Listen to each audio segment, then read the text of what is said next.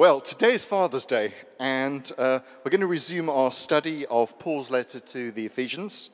And uh, previously, Pastor Colin preached to us on uh, Ephesians 5 up to verse 17.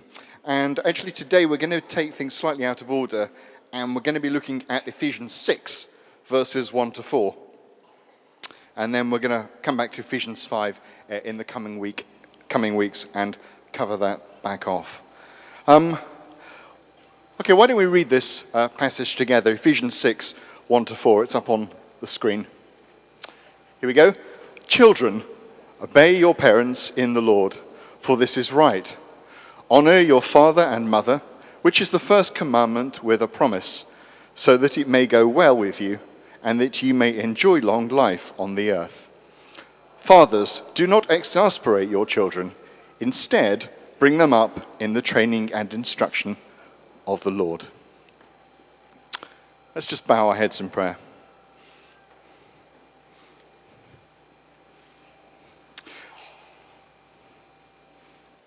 Father, your word tells us that the sower went out to scatter seed.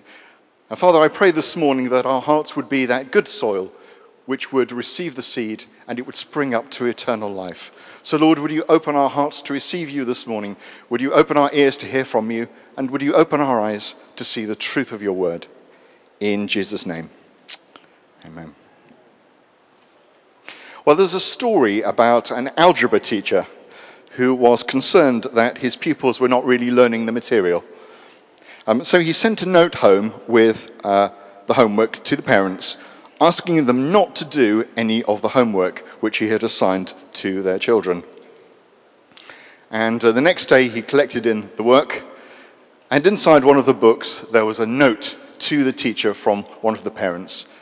And it said, said this He said, Dear Mr. Wood, I'm flattered to think that you could. Well, I wonder uh, how many young people here are taking exams at the moment. Maybe GCSEs or A levels or maybe university exams. Anyone here? Raise a hand. Yep. Well, my son has just completed some uh, exams successfully, some 13 plus school entrance exams. And uh, I wonder how many of you know that uh, life changing exams can be a worry for parents as much as for their children. But you know, whatever the outcome of exams, um, God has a plan. He has a plan to prosper, He has a plan not to harm you. And sometimes we just have to remind ourselves and our children about that promise that God is sovereign in every situation and He works every circumstance to the good of those who love Him.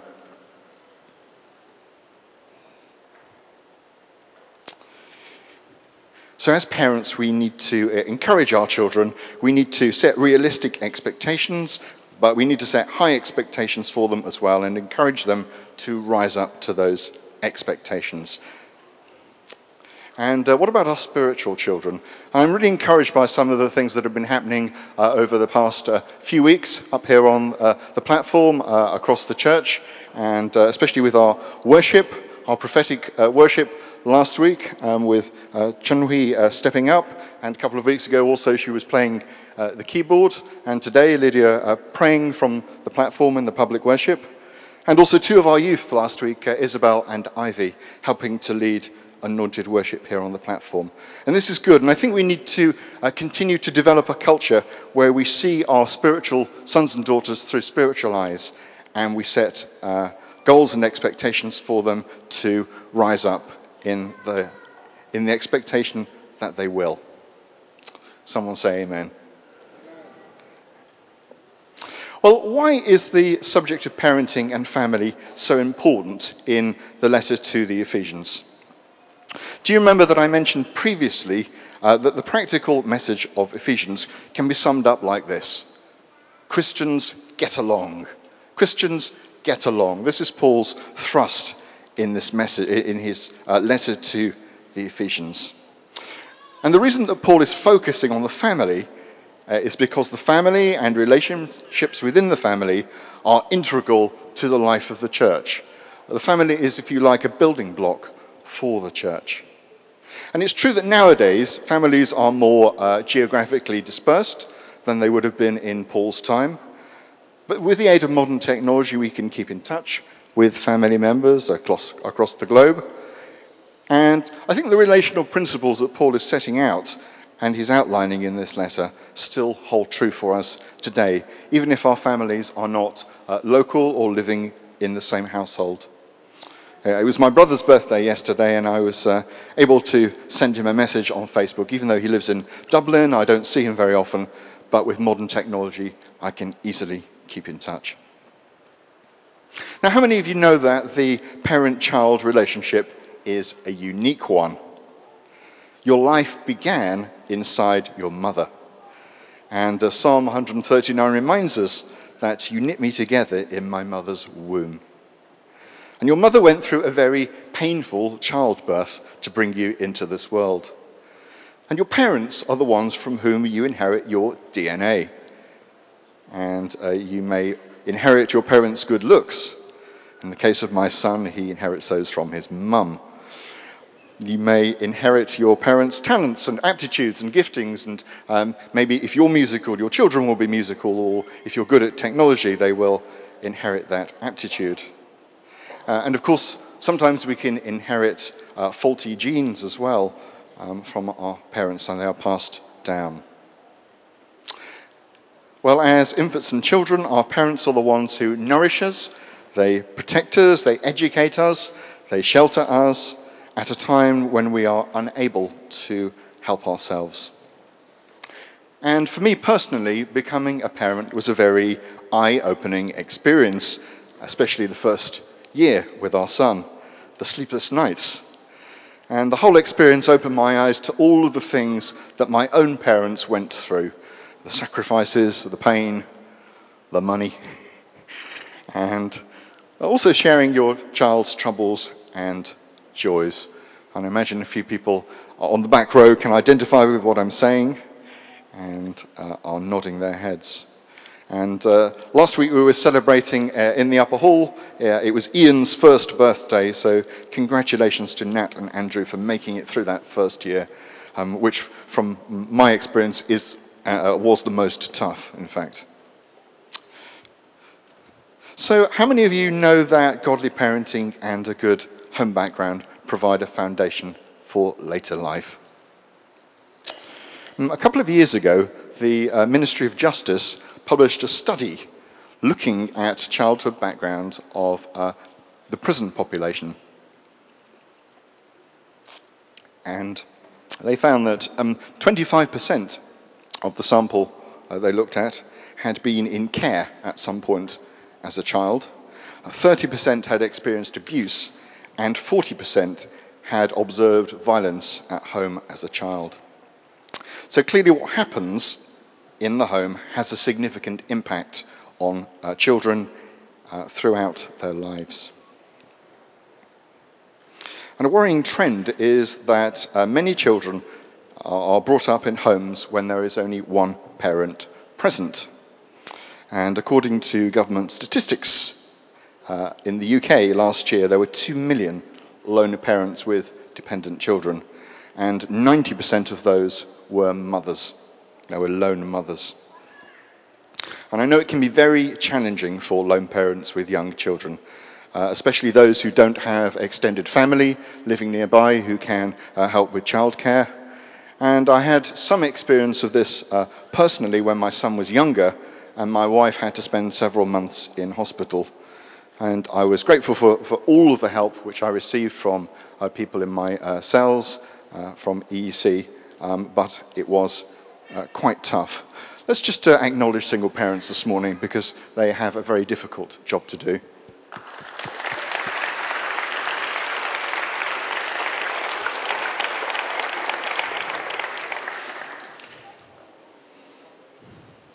Um, so in my case, I was a single father, but in most cases, in fact, it is uh, single mothers who are left to look after children. And of course, it may be there is no one really to blame. Uh, sometimes the father has passed away. Um, in other situations, maybe the father is very abusive and the uh, wife uh, has no option but to remove herself and her children from that uh, situation. And sometimes, of course, the, the father simply walks out and won't take responsibility. But for whatever reason, uh, children are left without a father, and the mother must do what she can to bridge that gap. And uh, especially if she's bringing up a son, maybe by making sure there are other uh, male family members, maybe grandparents or uh, other uncles or maybe family friends who can act as a male role model to the child. So then, the duties and responsibilities of children, which uh, Paul talks about in these verses.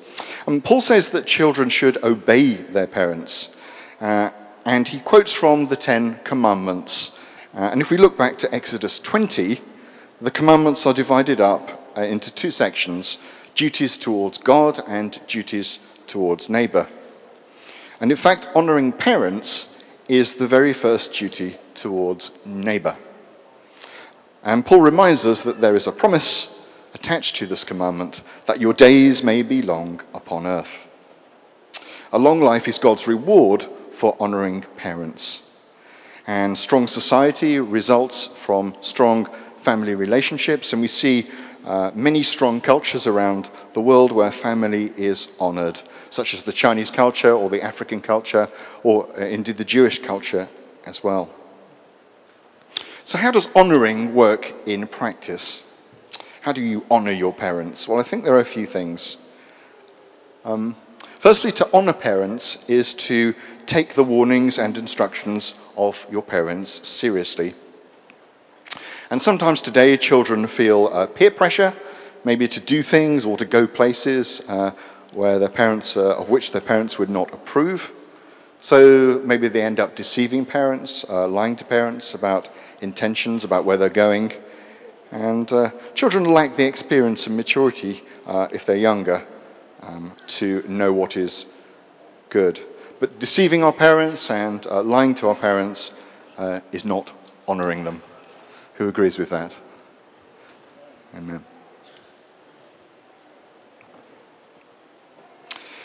Mm, I think, secondly, to honour parents is also to recognise that parents are not perfect. Um, we have to uh, forgive them in the Lord. They make mistakes. As a parent, I have made mistakes. Um, but um, my son also honours me by forgiving me. Um, to honour parents is also to remember them, uh, to help them in need, to send them a birthday card or a present, or indeed to remember Father's Day.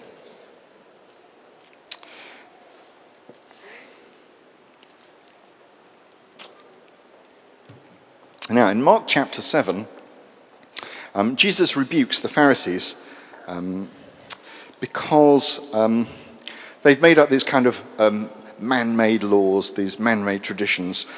And um, the effect is that it gets round their duty to help their parents. Um, Jesus says to the Pharisees, You have a fine way of setting aside the commands of God in order to, to observe your own traditions.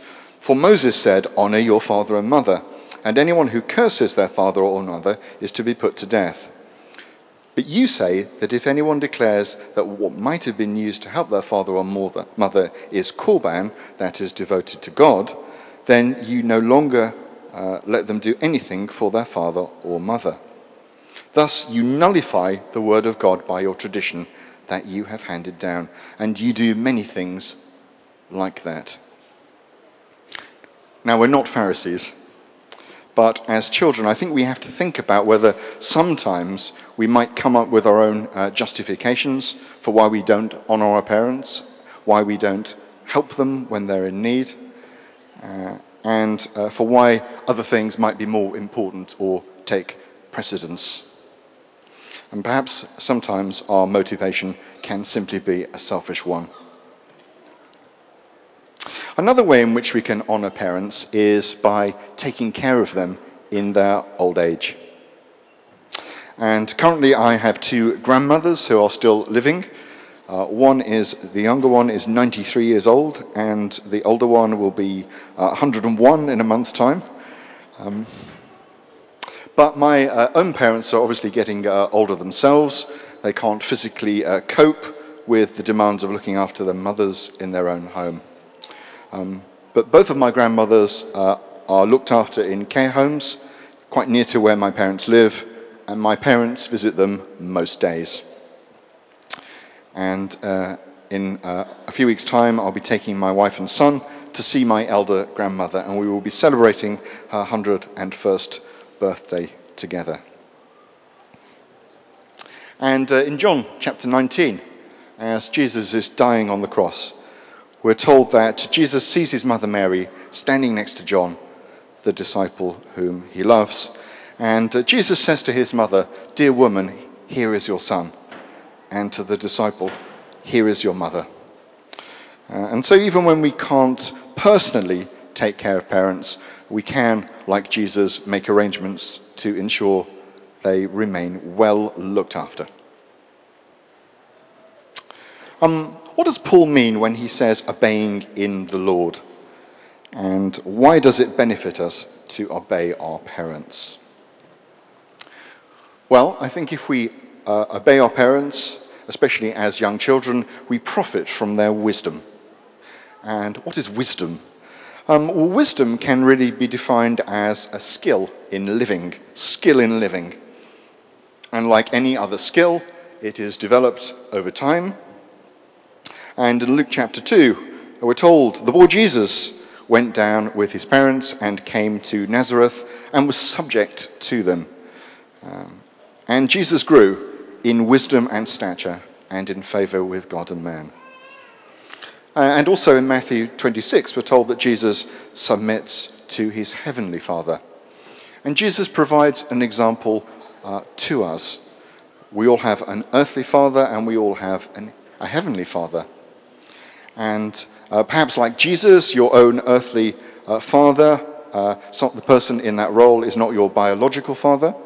Um, but in the context, context of the family, you should still honor him and you should still submit to him and you should still show that same honor that Jesus showed to Joseph. Does that make sense? Amen.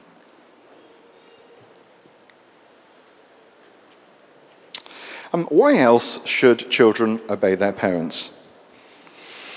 Well, it's in the home that we learn to obey godly authority. And children who do not learn respect for authority in the home often find it hard to submit to legitimate authority later on, whether that be uh, at school or in the workplace, uh, or sometimes even in obeying uh, the law as well. And um, obedience is really the true evidence of honor. The evidence that you honor someone is the fact that you obey them. And in Colossians uh, 3:20, Paul says, "Children, obey your parents in everything, for this pleases the Lord." Um, but you may say, "Well, that's fine. Uh, I get all that. But what if my parents themselves are not very godly? What if they ask me to do something which is uh, not right?" Um, well, in Scripture, in the book of Ezekiel, when Ezekiel is prophesying, uh, he says. Um, I said to their children in the wilderness, Do not follow the statutes of your parents, or keep their laws, or defile yourselves with their idols. I am the Lord your God. Follow my decrees, and be careful to keep my laws. And also in Acts chapter 20, Peter and the apostles are brought before the uh, Jewish rulers, the Sanhedrin, and they are asked why they are still teaching in the name of Jesus when they have been commanded not to. And Peter and the apostles, the apostles reply, We must obey God rather than human beings.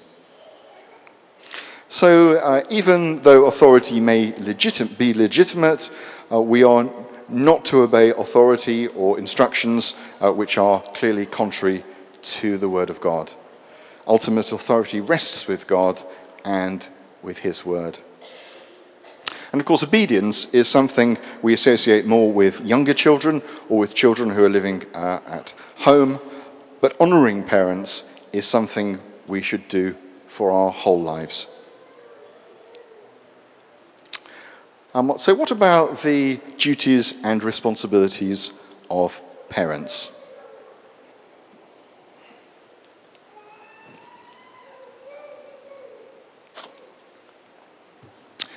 So, if the duty of children is to honour and obey their parents, what about the duties of parents towards children?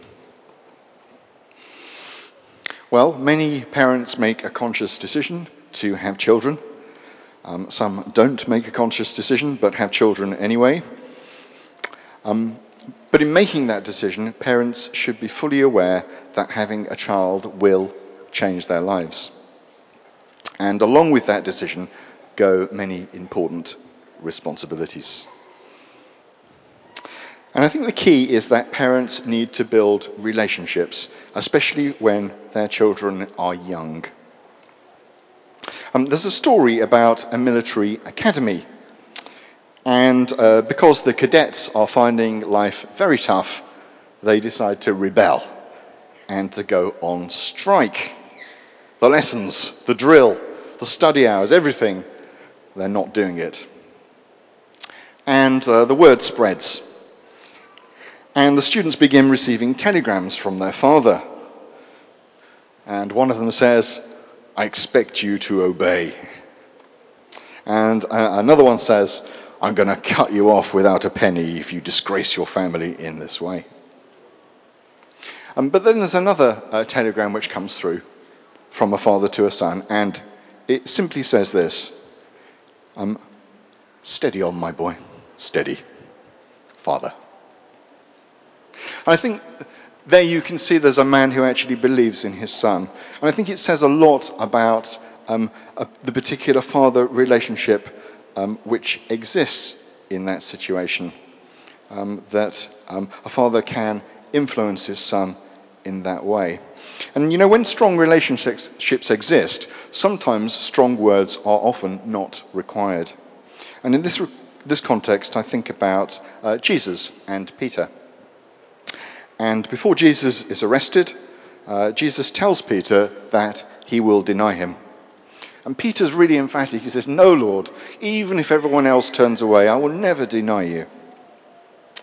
Um, but uh, soon afterwards, uh, three times Peter says that he does not know Jesus.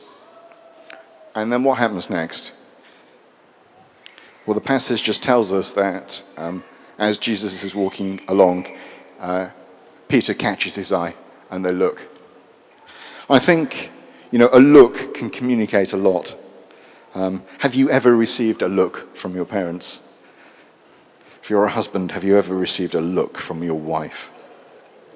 And I think when there's a, a strong relationship in place, sometimes, sometimes a look can say a lot. Um, in Scripture, parents are commanded to train children.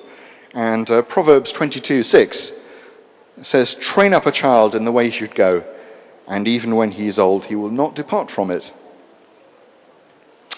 And looking back at the book of Samuel, how many of you know that um, David's family, King David, his family were somewhat dysfunctional? And uh, David's son, uh, Absalom, uh, he was what, what, you might call a problem child. Um, he deliberately undermined his father. Uh, he tried to promote himself as king above his father. And he dishonored his father in many ways. And uh, he tried to raise, raise, a revolt at Hebron. And David uh, actually had to go in hiding from his son in fear of his life. But uh, Absalom's army uh, were defeated in battle, and Absalom himself was killed. And then what was David's reaction? Well, in the book of Samuel, it says, when he, when he hears the news, um, the king was shaken. He went up to the room over the gateway and wept. As he wept, he said, O my son Absalom, my son, my son Absalom, if only I had died instead of you. Absalom, my son. And sometimes when our children rebel against us, it can be difficult to maintain a father's heart. And uh, we can think too about the parable of the prodigal son, a son who had disgraced and dishonored his father by asking for his inheritance. And yet each day the father is standing at the gatepost looking for his son to return. And of course, this reflects the Father heart of God towards us as well. Um, but although we should maintain a father's heart towards our children, it's also part of the duty of parents to correct and to discipline. Uh, and also in the book of Samuel, there is a warning to us. Um, in uh, 1 Samuel 2, we're told that Eli's sons were scoundrels. They had no regard for the Lord. Um, and for example, they were taking all the prime cuts of meat, uh, which were meant for the sacrifices, and they were committing adultery with uh, the women at the sanctuary entrance. And we're told uh, that the sin of the young men was very great in the sight of the Lord, for they were treating the Lord's offering with contempt. And uh, Eli is not pleased. Uh, he rebukes them, but his rebuke is mild and it's insufficient. And uh, Eli, in fact, imposes no punishment on his sons for their actions. Uh, he doesn't bar them from uh, ministering. They carry on doing uh, what they're doing. And I think this is where, as parents, we need wisdom. Parents must not be blind to the failures of their children. And as parents, we need to confront failings seriously. Um, some misdemeanors require more than uh, a verbal rebuke uh, if behavior is to be effectively corrected. Uh, and if in the end parents do not correct behavior, especially when children are young, they will get into uh, trouble at school, maybe even with the law. And we're not helping our children ultimately by withholding our discipline. Uh, in the case of Eli, um, Eli receives a prophecy from a man of God. Uh, the time is coming when I will cut short your strength and the strength of your priestly house so that no one in it will reach old age. No one in your family line will ever reach old age, and all your descendants will die in the prime of life. So, parents, we are to train up a child in the way he should go, even so that even when he is old, he will not depart for it, from it. And the duty of children is to honor your father and mother, that your days might be long in the land. And you can see here that Eli did not effectively discipline his sons. Uh, his sons did not honor him, and um, the dynasty was uh, cut short. But fathers must not only take a lead in disciplining their children, uh, especially sons, but they must also educate them in the things of God by their example. Um, for example, uh, how to pray. Um, for example, uh, regularly uh, attending uh, church, um, attending cell, set a role model, be a role model to your son or your daughter. And too often, I think um, spiritual matters are left to the mother. Um, fathers might provide some money, um, you know, they go off to work, they work long hours uh, or whatever, um, and, but then they, then they leave the spiritual side entirely to mum. Um, but you know, providing money, um, uh, providing a house, it's not a substitute for spending time with children. And fathers should affirm their sons as men of God and provide role models. Um, now, how many of you know that children can be provoked to anger by abandonment? Uh, where the father, father um, puts their work uh, ahead of their children. Sometimes even church things can be put ahead of children, and that makes children feel uh, abandoned, um, angry. Um, sometimes, for instance, when you're talking to your child and the phone rings, um, if you go and answer that call, um, you can give the impression to your child that the person who is calling is more important. Uh, there's a story about uh, a young man called Jack. And Jack had left home, and he married, and he had children. And he moved to another part of the country.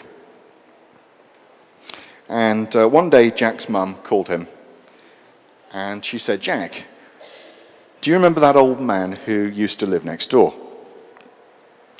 And Jack uh, thought for a while, and he said, Yeah, I, I remember him. Yeah, he was a, he was a good friend of my father, and um, after my father died, I used to go round and he'd tell me stories. And, well, he even taught me carpentry as well. And uh, if it wasn't for him, I probably wouldn't be uh, in business today as a carpenter. But I'd imagined he'd died uh, years ago. Well, anyway, Jack's mum told him that the old man uh, had died uh, just last week, and uh, Jack decided to fly home to attend the funeral. And it was a small event, as the old man didn't have uh, any children, and most of his friends had already uh, passed away. Anyway, after the funeral that evening, uh, Jack and his mum decided to go next door and just to take a look through the window of the old man's house. And um, Jack remembered that there used to be a little box sitting on the mantelpiece. And Jack said to his mum, Well, it's gone. That little box that used to sit on the mantelpiece, it's gone. And whenever I asked the old man what was in that box, he wouldn't tell me. He just said, Well, Jack, inside that box is the most precious thing. And then Jack's mum remembered. She said, Oh, yes. She said, um, There was a delivery earlier today, and in fact, um, the old man left you that box in his will. He wanted you to have it. And uh, it's back at the house. So they, uh, they went back to the house, and uh, they found this little box. And Jack thought, Well, I wonder what's in it. And uh, Jack opened the box, and inside the box, there was a gold pocket watch. And there was a note. And it said, uh, Dear Jack, thank you for your time, the most precious thing. And how many people know that time is very, very precious? You can't get time back. And how are you spending your time? How much time do you invest in your children? And you know, on their deathbed, nobody ever says, I wish I'd spent more time in the office. Paul says that fathers should uh, bring up children in the training and instruction of the Lord, and that takes time. What does it mean to bring them up? Um, well, to bring them up or to raise them up means to help them become independent, to bring them to a place of freedom to where the child can make his or her own decisions. Um, and it's sometimes said that the job of a teacher is to, is to plan the demise of their own role. You have to think about that. But we let go of the reins gently and we help our children develop confidence and independence. And uh, there's an American pastor, uh, Tim Keller, and he, he says this. He says, Most parents intrinsically have always known it's their job to pass along their values. A good parent is somebody who does this. But what destroys a child's respect for the parent is not whether or not the parent is wise or smart or profound or orthodox. What destroys a child's respect for a parent is if the parent doesn't believe what he or she says and doesn't do any teaching at all. The experts will tell you that misdirected authority is nowhere near as devastating as no authority. So, for a parent simply to say, uh, I don't know what's right or wrong, or who knows, or you can make up your own mind, that's actually much more damaging to a child than to be told things which are wrong. Because if you give the child the wrong kind of authority, at least then they will grow up and say, well, that was wrong, that was stupid, I'm going to find the right thing, uh, I'm going to know the difference between right or wrong for myself. But in fact, if you give a child no direction, if you give them no teaching authority, the child may, may grow up believing that there is no such thing as right or wrong. So they can't get to any place of critical freedom because they're never in a position to discern good from bad and wise from foolish. And if you like, they die from uh, a lack of authority. There's an old expression that uh, children are to be seen and not heard. I wonder how many people have uh, heard that expression before. Children are to be seen and not heard. Yes. Well, I think that ignoring children and uh, talking down to them harshly uh, is exactly really what Paul is talking about here. He warns us against that. Um, how do fathers train and instruct their children? And is there a difference between training and instruction? Well, training especially needs time, uh, it needs impartation of wisdom through life's rough and tumbles. And uh, how does that take place? Well, many fathers only really train children or instruct them in uh, maybe academic studies. But actually, being a good parent is primarily about being concerned for your child's whole spiritual well being and also their character development. Um, parents are usually very keen to speak to teachers at schools about children's academic progress, but they may be less interested in talking to uh, e-kids teachers, for instance, about their ch- child's spiritual development. And uh, Proverbs 6, verse 20, tells us this. Um, it says, My son, keep your father's commands and do not forsake your mother's teaching. And you know, parenting is not easy. Uh, it is a partnership between mother and father, and it's also the responsibility of the whole church community for us to see that our children are encouraged and they are raised up in the things of God. Uh, and within the church community as well, parents with, with uh, children at different stages of development can share experiences with one another. And we should encourage one another as the whole family of God. Let's pray.